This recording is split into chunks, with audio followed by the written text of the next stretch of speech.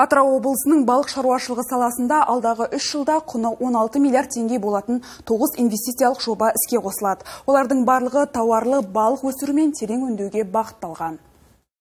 Сағиба шаруа қожалығы биыл қара жерден үш бірдей тоған қазды. Келер жылы тағы алтауын іске қоспақ. Тұйықталған сумен жабдықтау қондырғыларын орнатып қойды.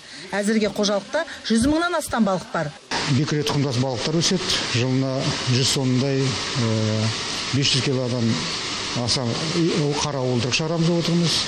300 килограмм 300 тоннадай қара балықтың өнімін сатамыз, өңдеп сатамыз деп отырмыз алдағы жоспар енді ол 21-ден енді 25 жылға шейінгі жоспарымыз аймақта балық шаруашылығына қатысты жоспар көп. Алдағы үш жылда жүзеге асатын тоғыз жобаның сегізі тоғанда балық өсіру болса біреуі ірі балық өңдеу зауыты.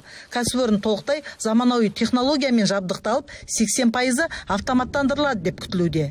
Осы жобалардың нәтижесінде жүзеге асу нәтижесінде қазір тауарлы балық өсіру көлемі 78 тоннадан 15 мың тоннаға дейін артамыз деген жоспарларымыз бар. Біздің ерекшелігіміз сол сол жаңа тауарлы балық өсірудің именно тұқы балықтарын өсіреміз деп жоспарлануда. Бұл жобалар іске қосылған кезде балық өнімін экспорттау көлемі 12 бүтін оннан жеті мың тоннадан 25 мың тоннаға артады. Нәтижесінде 511 жаңа тұрақты жұмыс орны ашылмақ.